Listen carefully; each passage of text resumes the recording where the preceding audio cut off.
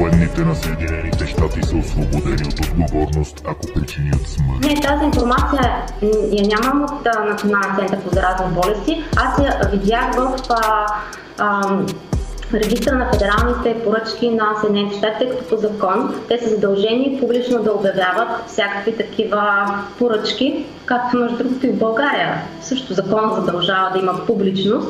Не знам колко това се спазва, но там законът задължава обявяване на всички федерални контракти, поръчки, договори, които касаят обществени средства в на НАТО.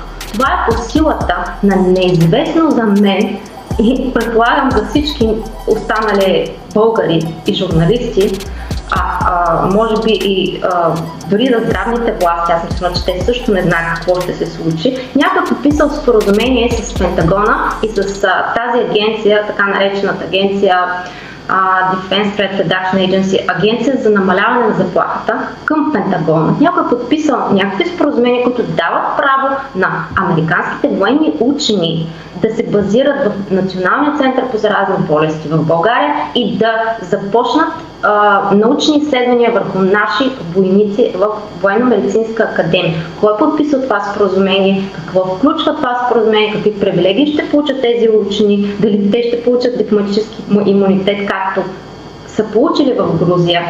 Какво точно ще бъде извършено върху българските войници? Ще има ли риск със здравето им?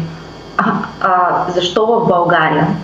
Това са въпроси, които зададох на българските институции. До, до ден днешен нямам отговор. Единственият отговор, който получи, беше от директорка на Националния център по заразни болести, която потвърди, че те си партнират с а, Пентагона по такива научно-изследователски проекти върху наши войници. Но това според нея е с цел да се съхрани здравето на нашите войници. Не очаквам да получа различен отговор, тъй като всичко, което официално получаваме като отговор, винаги е, че това се прави за защитата на България.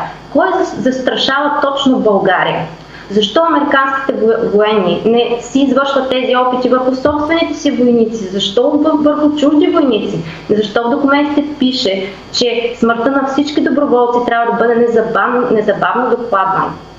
Никой не отговаря на тези въпроси. А и защо американските военни учени не могат да бъдат съдени, ако причинят смърт на някой местен жител? Защо? Това са въпроси, които а, логически поставят под съмнение истинските намерения на американските военни, които извършват тези опити. Ако нямаше риск да а, бъде причинена смърт, тогава нямаше да има тази защитна клауза в а, междудържавните споразумения нямаше да се а, радват на дипломатически имунитет, който ги освобождава наказателна отговорност. Всичко това задава много въпроси. И аз искам да получа отговор от българските власти, кой е разрешил това и знаят ли въобще какво предстои да се случва.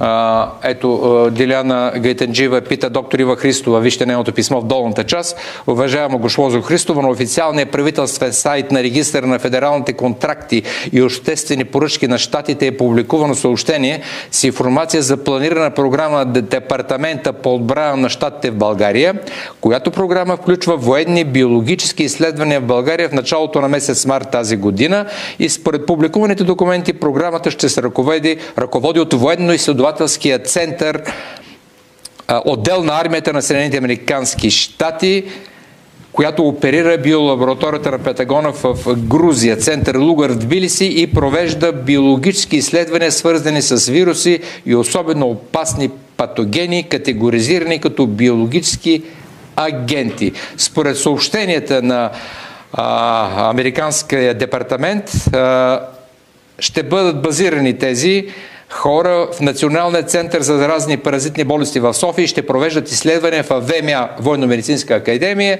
и, на и в Националния център за заразни паразитни болести. Ето отговора в горната част на а, уважаемата проф, професор доктор Ива Христова в отговор на вашето електронно писмо тя по същество потвърждава, не по същество, тя потвърждава, че те ще си партнират с Националния център по заразни паразитни болести, т.е. изследователски арменски институт на САЩ Уолтер Рид. За мен 90% да не казваме повече е малко художествена измислица.